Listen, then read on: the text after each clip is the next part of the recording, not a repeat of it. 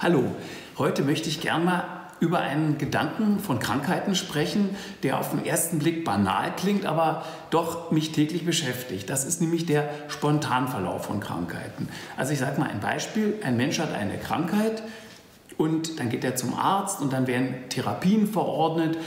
Wenn man mehr zum Naturheilkundler tendiert, kriegt man vielleicht irgendwelche Kügelchen. Wenn man zu einem chemisch orientierten Arzt geht, kriegt man vielleicht chemische Mittel und dann guckt man, was passiert.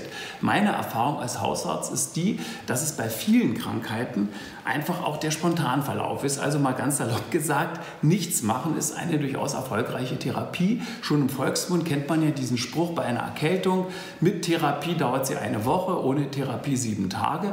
Das heißt, in solchen Fällen ist einfach mal Ruhe und Abwarten angezeigt und weder, um das Beispiel der simplen Erkältung aufzugreifen, ist es berechtigt, damit Chemie drauf zu schießen.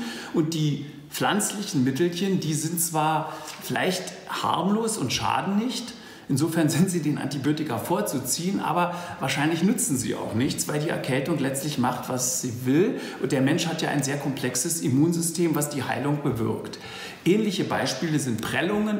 Da kann ich jetzt eine umfangreiche Therapie mit Ultraschallwellen, mit Spritzen und Ähnlichem machen oder einfach mal warten, dann geht die, die Prellung auch wieder weg.